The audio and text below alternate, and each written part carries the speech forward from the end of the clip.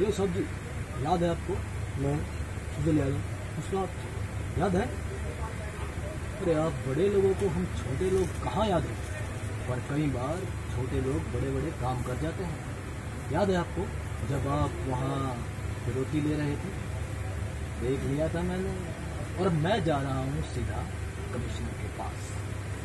अगर आप चाहते हैं, मैं ना जाऊँ तो आपको मेरा छोटा सा काम करना होगा। क्या काम? एक खोखा मेरे बताए हुए पते पर पहुंचाना होगा। और एक खोखा आपके लिए कोई बड़ी बात तो है नहीं हाँ?